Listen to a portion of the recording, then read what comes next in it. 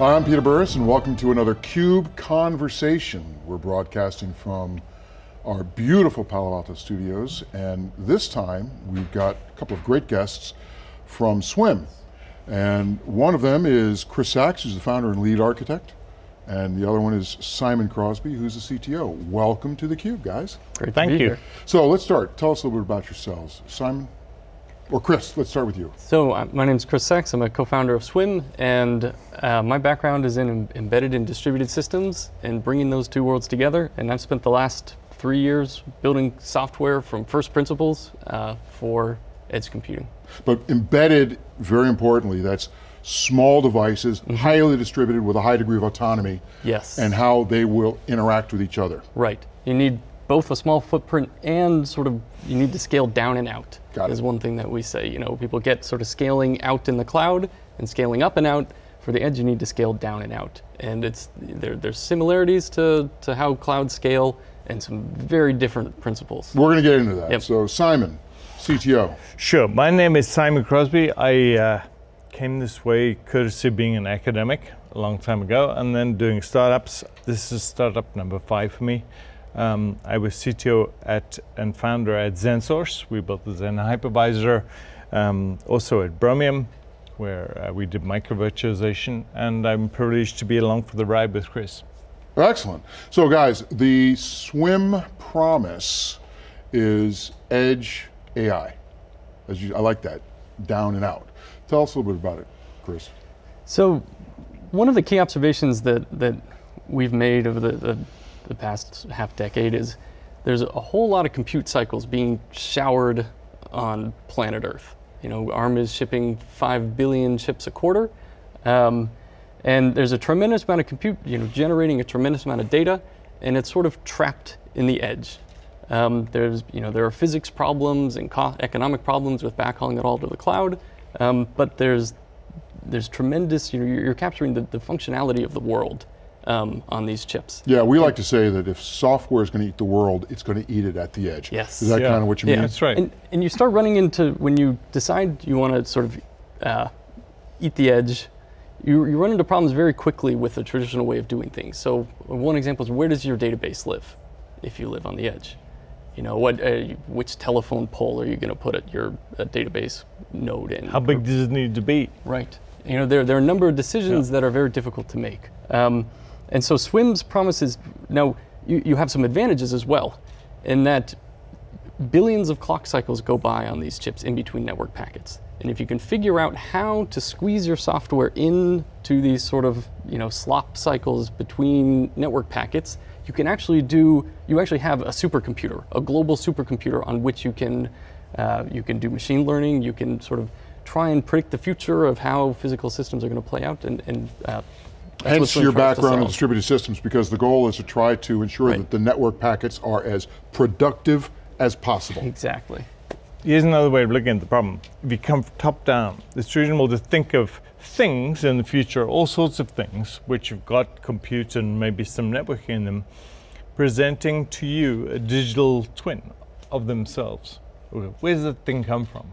Now, describe digital twin. We've done a lot of research on this, but it's a, it still is a relatively novel concept. GE talks about it, IBM talks about it. When, when we say digital twin, we're talking about the simulacrum, the digital representation of an actual thing, right? Of an, of an actual thing. And so it's, it, there are a couple of ways you can get there. One way is if you give me the detailed design of a thing and exactly how it works, I can give you all of that detail and maybe a, a, an operator can help use that to find a problem. The other way is to try and construct it automatically. And that's exactly what Swim does. So it takes the thing and builds models around it that are a, Well, so what do things do? Things give us data. And so the, the problem then becomes how can I build a digital twin just given the data? Just given the observations of what this thing is seeing, what its sensors are bleating about, what things near it are saying. How can I build a digital twin which will analyze itself, tell you what its current state is, and predict the future just from the data? all right, so the bottom line is that you've got, you're, you're providing a facility to help model real world things that tend to operate in an analog way and turning them into digital representations that then can be a full member, in fact, perhaps even a superior member in a highly distributed system of how things work together. Yes. Got So that right? A few key points is that um, these digital twins are, are in the loop with the real world. Right. And they are in the loop with their neighbors. And uh, you start with digital twins that reflect the physical world, but they don't, they don't end there. You can have physical twins, you can have digital twins of, of concepts as well, um, and, and other sort of higher order notions. And, and from the, the masses of data that you get from physical devices, you can actually infer the existence of twins where you don't even have uh, a Let's sensor. make it real. yeah. So you could have a digital, you know, if you happen to be tracking all of the buses in downtown San Francisco, you can infer PM10 pollution as a virtual sensor on a bus. And then you can pretty quickly work out something which is of value to somebody who's trying to sell insurance, for example. Okay? And that's not a real sensor on every bus, but you can then compose these things given that you have these other digital twins which are manifesting themselves. So folks talk about the butterfly effect and things like chaos theory, which is a butterfly affecting the weather in China. But what we're talking about is locality really matters. It matters in real systems and it matters in computers. And if you have something that's generating data, Right. more than likely that thing is going to want its own data because of locality, Yeah. but also the things near it are also going to want to be able to infer And- or understand Yes. the behavior of that thing because it's going to have a consequential impact on them. Correct. So I'll give you two examples of that. We have um, we're being used in an aircraft manufacturing facility, and so we can. Um, we, the virtual twin here is some widget which has an RFID tag on it. We don't know what that is. We just know there's a tag, and we can place it in three space because it gets seen by multiple sensors. So we triangulate, and then as these tags come together to make, say, an aircraft subassembly, that meaning of an aircraft subassembly is kind of a, another thing, but the nearness, it's the locality that gets you there, right? So I can say all these tags came together, let's track that as a superior object, a there's a containment notion there, and suddenly we're tracking wheel assemblies instead of widgets, right? So the, and this is where the AI comes in, because now the AI is the basis for or recognizing the patterns of these tags and being able to infer Correct. from the characteristics of these patterns that it's a subassembly. Have I got that right? Right. So you there's a, a unique opportunity that is opened up in, in AI when you're watching things unfold live, and that you have this great unifying force to uh, to learn off of, which is causality. It's the what, what does everything have in common? It's that they, it evolves through time. Um, and what do you do when you have billions of clock cycles to spare between uh, between network packets? Well, you can make a guess about what what uh, what your particular digital twin might see next. So you can take a uh, take a guess based on what your state is, what the sensors around you are saying, and just make a guess. Then you can see what actually happens. Um, and you see how you see what actually happens. You measure the error between what what you predicted would happen, what actually happened, and you can correct for that. And you can do that just uh, ad infinitum, just you know trillions of times over the course of a year. You make small corrections for for how you think your particular system will evolve. Whether it's a, a street, a traffic light, trying to predict when it's going to change, when cars are going to show up, when pedestrians are going to push buttons, or it's a a, manufa- a machine. Uh, you know, a conveyor belt or a, a motor in a, in a factory trying to predict when it might break down.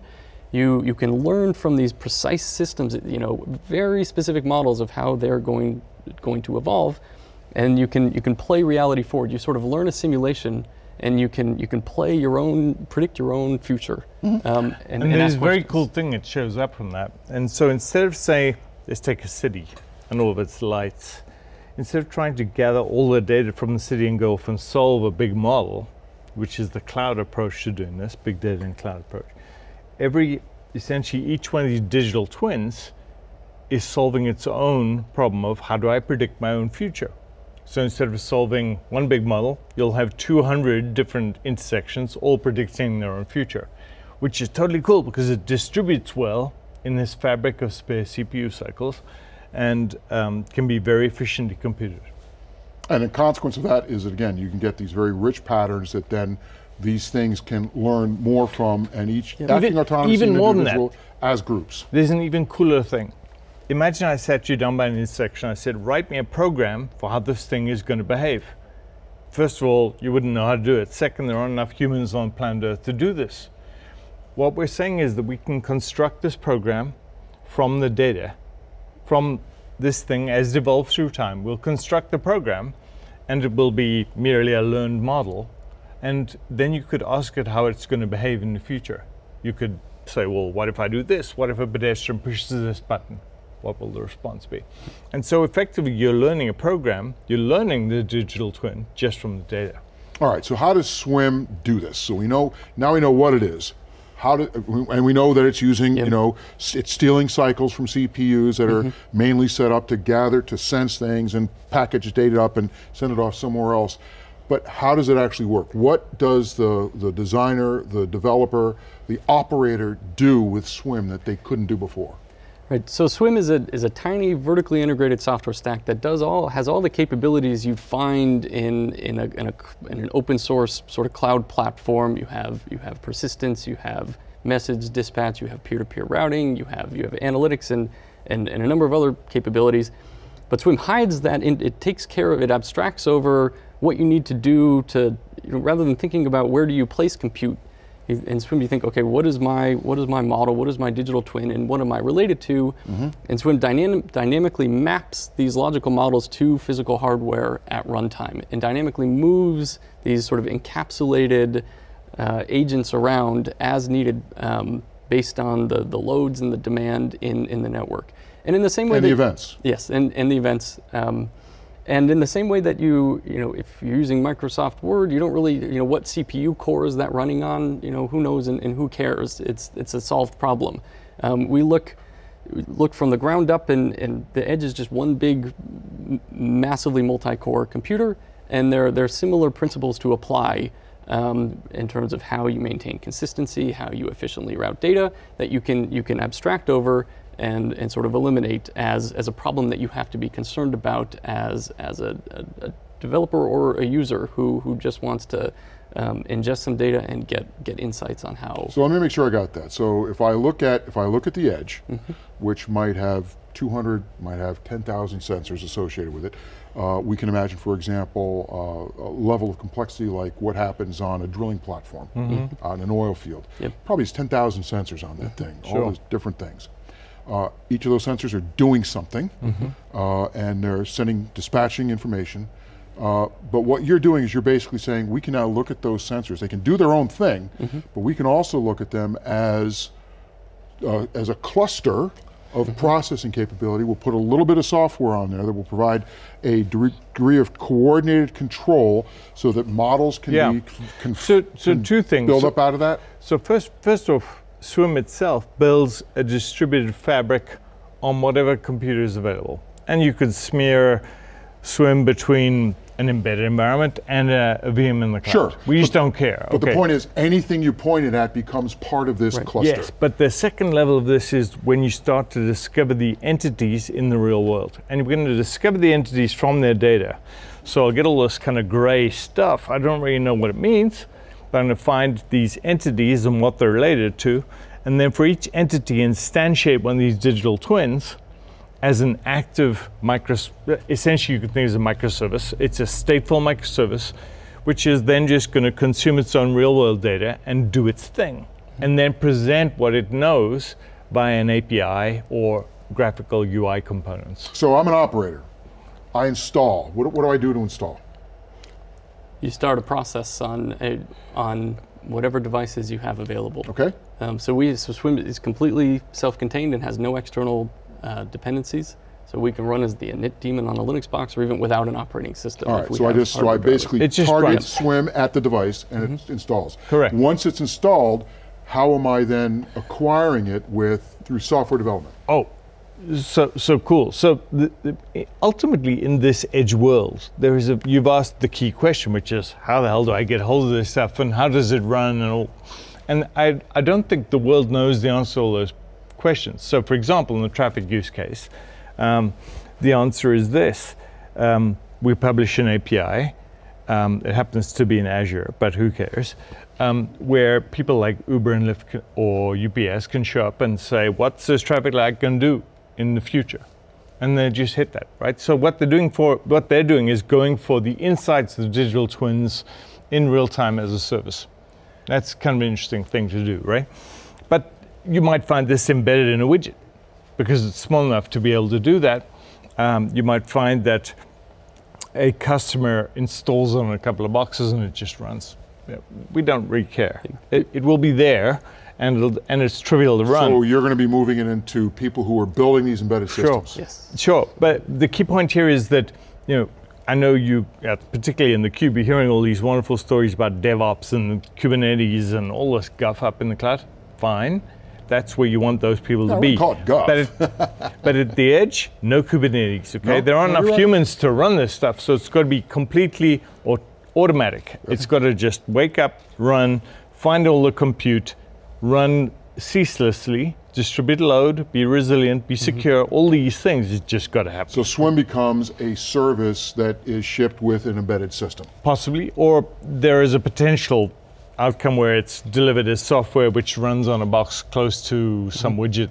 Or, or Yep. rolled out as a software update with some existing In, manufacturers. in the Great. particular case of traffic, um, we should be on 60,000 intersections by the end of this year. Um, the traffic infrastructure vendor, the vendor that delivers the traffic management system, just rolls out an upgrade, and suddenly a whole bunch of new intersections appear in a cloud API. And Uber or Lyft or whatever is just hitting that thing and finding out what they are. Great. And so, as but as developers, am I going into a swim environment and doing anything? This is just the this is just the way that the, that the data is being captured. So we take data- being identified. Right. Take data, turn it in dig- into digital twins with intelligent things to say, and expose that as APIs service. or as UI components. So that now the developers can go off and use whatever tools they want and just invoke the service through the API. Bingo. So yeah, that's right. So so in developers, if they're doing something, just hit digital twins. All right, so we've talked a couple, we've talked a little bit about uh, the traffic example. I mentioned, you know, being in oil, being in an oil field.